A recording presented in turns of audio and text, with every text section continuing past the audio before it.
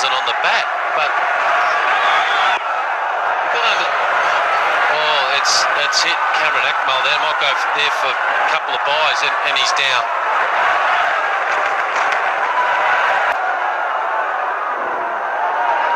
Just short.